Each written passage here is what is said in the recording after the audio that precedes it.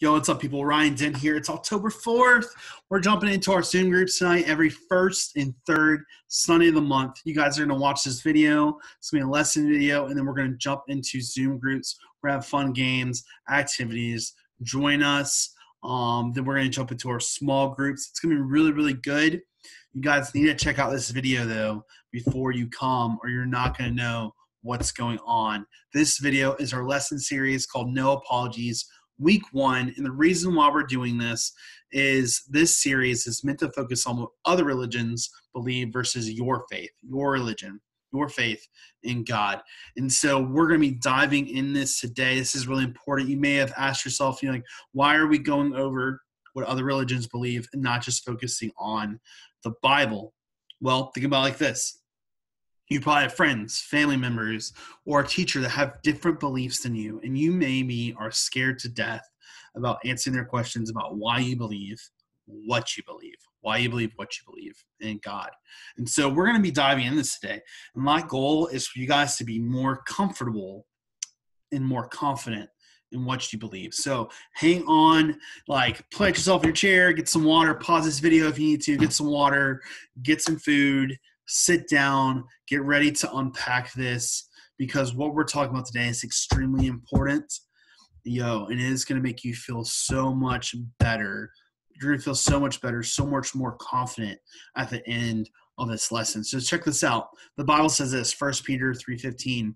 But in your hearts honor Christ the Lord as holy, always being prepared to make a defense to anyone who asks you for the reason for the hope that's in you. Yet do it with gentleness and respect. Like, guys, we got to be confident. We got to be bold when we talk to other people of different beliefs. But at the same time, for some reason, when Christians get into conversations with non Christians, maybe you've experienced this before, maybe you've seen it before. We sometimes feel like the goal when we're talking to people who aren't Christian is to win the argument and we end up not leading them towards Christ or anywhere closer to God. I have never heard someone say, man, gee, like this dude embarrassed me with his logic about science and the Bible. And so I became a believer. What I have heard is a person took the time to lovingly show me the way to Jesus. Like, guys, like, we're not going to end up being jerks with this info. We're going to love people rather and be confident in our faith and our answers about our faith. So, if this is super important to you, I really do think it is.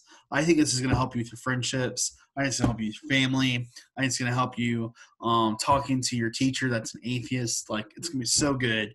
Um, strap in, pay attention. You're really not going to want to miss out on this. So, today, we're going to talk about people who consider themselves non religious, um, atheists, agnostics, skeptics. All right. So, these are individuals with a lack of belief in God or the supernatural. All right, check this out. A better way to understand this would be skeptics would say, I doubt that God exists. Maybe you have friends that, that believe that. Agnostics would say, I don't know if God exists. And atheists would say, God just straight up does not exist. All right. Uh, I would venture to guess that most people at your school are agnostic, and you yourself might be agnostic. Maybe you're sitting here and you're like, "Yeah, Christianity is good. I go to church every Sunday, but it's really my parents' faith. It's not really my faith. Um, I'm really not sure what I believe. Maybe like you're in that agnostic boat. All right. I remember agnostics believe, or they would say, "I do not know if God exists. I'm just not sure if God exists, or if He even has a place in my life for any kind of influence." So this is because most people I'd say are agnostic, and because they're probably not confident enough to say that there isn't any God, but they also aren't sure if there is a God. All right, so they're not sure if there is no God, but they're also not sure if there is a God. Additionally, they may feel like it is impossible to really know if God exists, or they just don't care one way or another. So we're going to look at um, just three objections people have with Christianity. All right, so three things people are like, mm, like Christians. I don't know. I don't know. I agree with you. I don't agree with you. Really, three objections that people have with Christianity. Check this out. Disclaimer. All right, before we start this, there are countless reasons why people are atheists, agnostic, skeptics, but I just want to focus on the three that I think your friends are actually dealing with. So, first objection: Hasn't science disproved God? You've heard that before. Maybe you believe that some of it.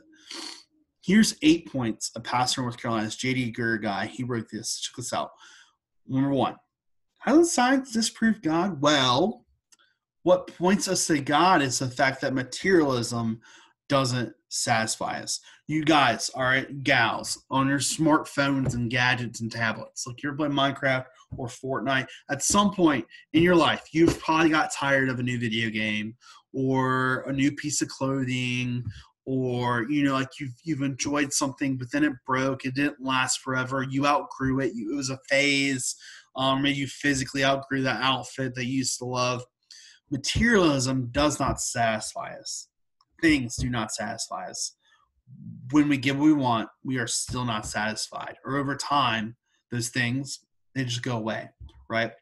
We want eternity in a temporary world. Everything about this world is temporary but we want eternity. When this happens, it really is that our hearts are longing for God. Why? Because God's not temporary, His love is not temporary. And what God set up for the world, He really wants to be eternal. All right. So the world, temporary, materialistic, you know, things that we get, things that we have, things that we buy, whatever. But God, eternal. All right. Our hearts are longing for that. Two, there's a problem of human rights in the accidental universe. All right, so this idea that the universe is made by accident, science has proven it, blah blah blah. Yo, if everything was an accident and we are here by chance, then why would we be upset at Hitler? Pause. Shock and awe, right? Did Ryan just say that? Like, think about that for a second. Hitler, right? Nazi Germany, concentration camps, killing millions of Jewish people. Why do we feel that certain things are not fair if there isn't a higher court of what makes justice. Like if, if there's not a God who's setting up justice and what morality is, what views there are, why would something like Hitler even matter? Martin Luther King Jr., he talked about how the reason we know that current laws about segregation are wrong was because it conflicted with the higher law of God. So, like, the only reason why civil rights or freedom for the Jews in concentration camps would matter is God simply made it matter. Science doesn't have an answer for that. All right, the power of love and beauty points us to God. Science doesn't have a reason for love and beauty. There's no reason for love and beauty in evolution, but love is just considered a chemical reaction in the brain, right? Yet, think about love and beauty.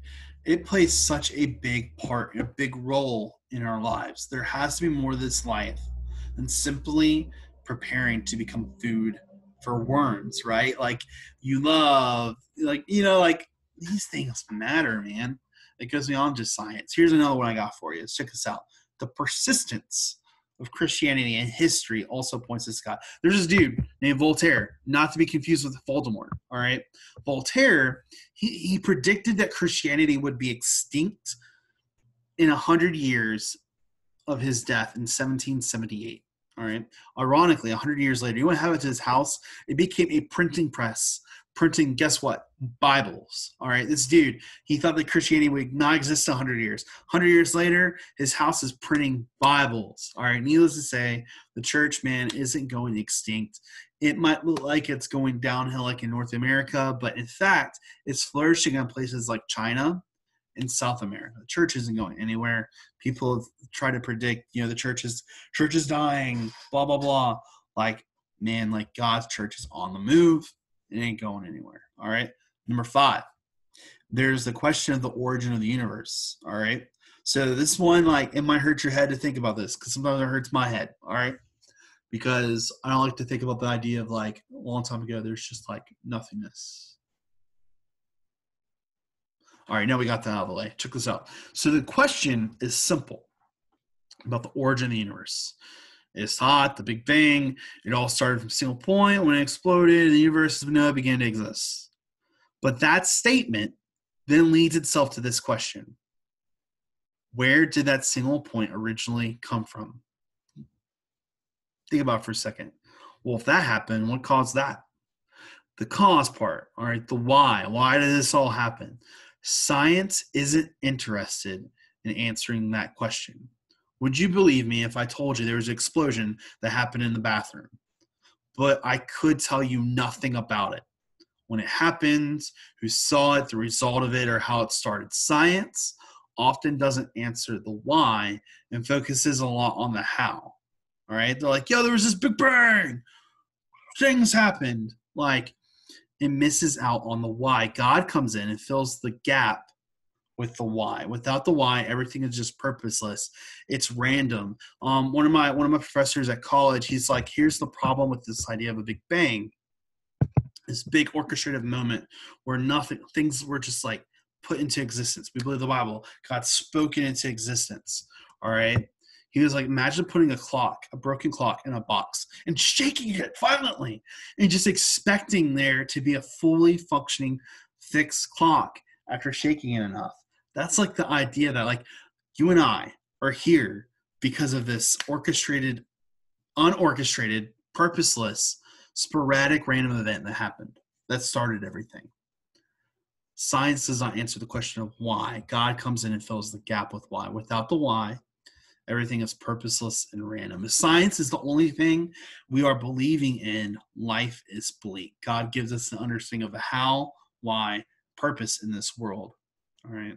God does not conflict with science. God fills in the rest. So the prophecies of the Old Testament. So next point, the prophecy of the Old Testament also point us to Jesus being God. Did you know there are 353 prophecies that Jesus fulfilled? Things were written before Jesus was born about Jesus coming true. 353. Some of them could have been coincidences, but some of them are too specific to be by chance, like impossible. The odds of one person fulfilling all of them is 10 to the 157th power. A big old number. All right. You have a better chance of winning the lottery a couple times than any one of these prophecies. One, not 353 coming true, which we know historically they came true. One coming true about Jesus. That's some encouragement, y'all. Like that's some encouragement. The historical evidence, about history, historical evidence that the resurrection of Jesus happened cannot be denied. Basically, between the eyewitness accounts and historical evidence that we have access to, the resurrection account is hard to deny. You might have had a friend who said, "Yo, there's no way that you know there's empty tomb, blah blah." Like there's no evidence, but there's historical evidence that it really did happen. The completely unique message of Christianity points to the existence of God. So Christianity is the only religion that says, "I'm accepted, therefore I obey." We believe that God loved us first. So we have this opportunity to choose to love God. All the religions, man, every other religion in the world is different from Christianity. Christianity itself is unique because all the religions are based on your effort and obedience. Muslims, man, they have these pillars of faith you have to achieve. Buddhism, it's enlightenment and stages and all this stuff, right? Like all these other religions believe that you have to do these certain things to win God's love and acceptance or to become like God, and then you can be you know. But Christianity says God's just like, hey, I accept you. You're broken. You're a sinner. You're messed up, but I accept you. And man, like because of what God's done for me, I choose to follow Him. That's a beautiful thing. And that's Christianity. It stands apart because it's based on what God did, not what we do. Only other, only faith like that. A second question, question we might hear, besides the whole science thing, was Jesus even a real person? Was Jesus even a real person? What is the biblical evidence that Jesus was historically real? Matthew, Mark, Luke, and John are all independent writers giving an account of what they saw about Jesus. They have tons of eyewitness reports of other people that saw Jesus. We also have all of Paul's writings. There are no reputable scholars. That means like someone, a scholar who's reputable is like someone like who's verified. You guys, when you follow Instagram, you know someone on Instagram that's like, yo, is this dude verified? How many followers does he have? Like, is he real? Um, if you want to go like Airbnb or TCYC, you know, we rent these Airbnbs, right? Um, a verified person who's who has their house up for other people to sleep at overnight and like vacation in an Airbnb.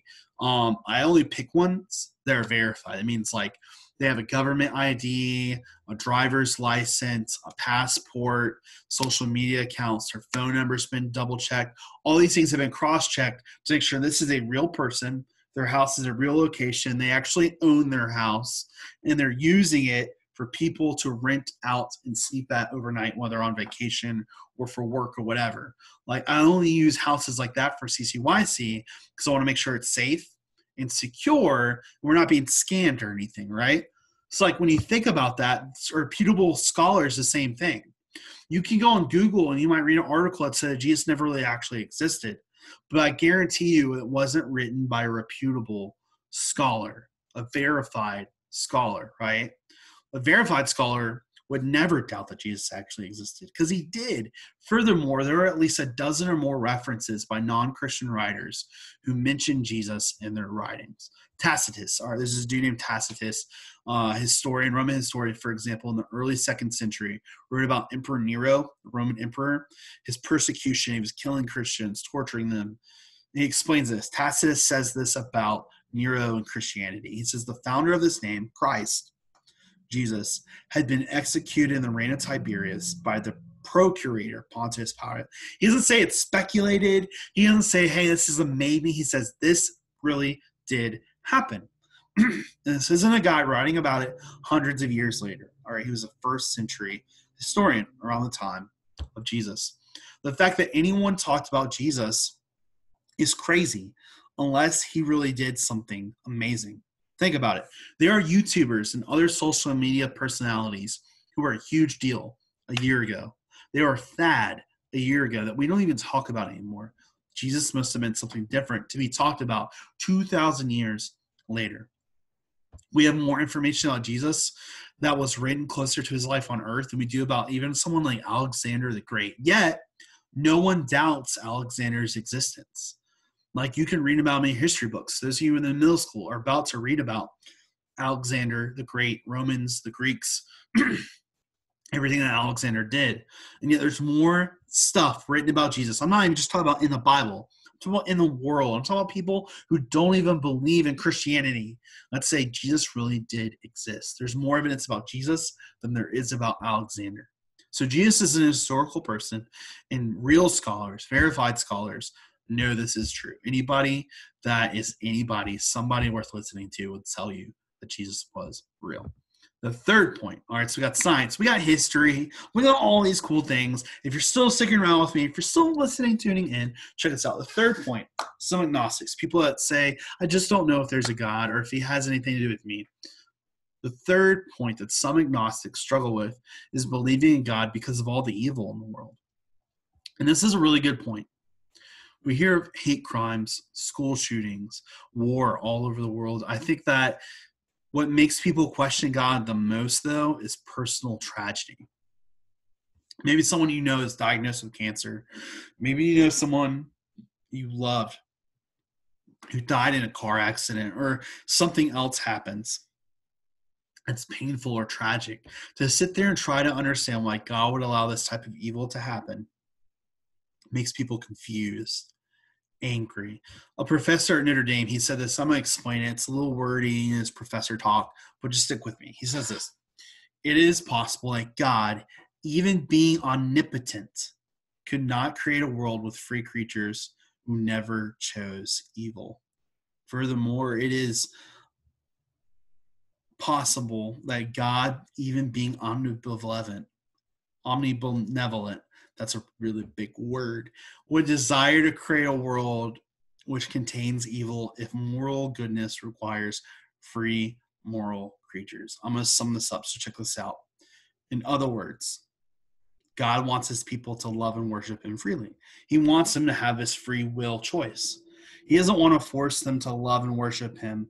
He gives humanity free will. This is the problem. All right. This is the big issue that people have with God. They look at Adam and Eve, they look at our choice, they look at all this stuff, and they're like, why do bad things happen to good people? God did not want to make the choice for you to live for Him, to make the right choice, to not be in sin. He wanted you to have the free will because without free will, there's no such thing as love. All right. God gives humanity free will. In free will, humanity has the option to do good. They have the option also to do evil. So because humankind has free will, they do evil, and so evil exists in the world. This is the story of humanity. God could he could have made a world where people didn't do evil, but that would also mean that they wouldn't have free will. So, in order for us to have free will, there is a risk of evil being in the world. And because of God, this is the kicker, one day evil will no longer exist. That's the story of Scripture. That's the story of Jesus. All right, so let me end with this. I think answering questions are great. I think answering questions about science, history, um, the problem with evil, they're great, but it isn't the complete solution. Guys, the Bible doesn't say all my good answers will lead people to salvation. The truth is, your life, all right, and this is you, all right, this is your responsibility All this. Your life will be the first thing people ever read before they ever pick up a Bible. The greatest single cause of atheism in the world today is Christians who acknowledge Jesus with their lips, walk out the door, and deny him by their lifestyle. That is what an unbelieving world simply finds unbelievable. A guy named Brennan Manning wrote that. Many atheists aren't jumping towards Christianity because when they see us, the only difference they see between themselves and you are that you chose to go to church on Sundays. And that's it. That's the only difference they see in your life and my life, in their life. For many, there is nothing about our lives that makes us distinct or separate they want to believe that Jesus is going to transform their life. But when they see you, they don't see transformation. They see someone who goes to church on Sundays and there's nothing different between you and them. That has to change. There is a responsibility on you. You can have these answers, you can say the right things. You have to be different. So if people can't see there's anything, something different about you, how will they ever experience Jesus? I want to read this verse that we read at the beginning again, and here it is. First Peter 3:15 says this, but in your hearts honor Christ the Lord as holy, always being prepared to make a defense to anyone who asks you for a reason for the hope that is in you, yet do it with gentleness and respect. Guys, I'm here to help you so that you can make a defense for anyone who asks you what you believe. When you have people that come with different belief points, fam, family, friends, teachers, whoever is, like, why do you believe in God? I want to help you give an answer. However, if your life is so much like their lives, there's nothing different about you that no one's even asking. We have to change that. I pray that your life really does reflect the change Jesus can make inside of us. That's my prayer for you, is that your life can reflect the change that Jesus made for you. Yo, I can't wait to see you tonight. We're gonna unpack this. This is good. If you have questions, um, thoughts, concerns, like feel feel free to like unpack those with me or small group leader um in our group tonight for small groups or in private. It's good. If you have questions, if you have doubts and worries about this whole God thing, like you're not alone. And it's good to have questions. It's good to process. It's good to ask questions. It's good. So I invite you to do that. Yo, can't wait to see you tonight. Um, we're gonna have lots of fun too. So I hope you don't miss it. 6:30. See you there.